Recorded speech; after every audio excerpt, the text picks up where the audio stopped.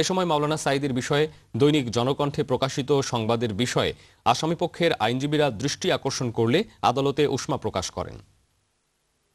দৈনিক জনকণ্ঠের দোসরা ফেব্রুয়ারির একটা নিউজ আইটেম। মধুসূদন ঘরামির সাক্ষী দেওয়ার বিষয়ে তারা যে হেডলাইনটা করেছিলেন, সেইটা মাননীয় ট্রাইব্যুনালের দৃষ্টি আকর্ষণ করেছিলাম প্রথমে। সেইখানে যে নিউজ হেডলাইন করা হয়েছে যে সাক্ষী মধুসূদন ঘরামি বলেন, ঘরে এসে ঘরে ফিরেই শুনি সাইদি আমার স্ত্রীকে ধর্ষণ করেছেন। এই ধরনের কোনো বক্তব্য সাক্ষী দেন নাই। এই বিষয়টা আমরা আদালতের দৃষ্টি আকর্ষণ করেছি এবং আদালত বলেছেন, আমরা এটা দেখেছি। এ ধরনের নিউজ দুঃখজনক।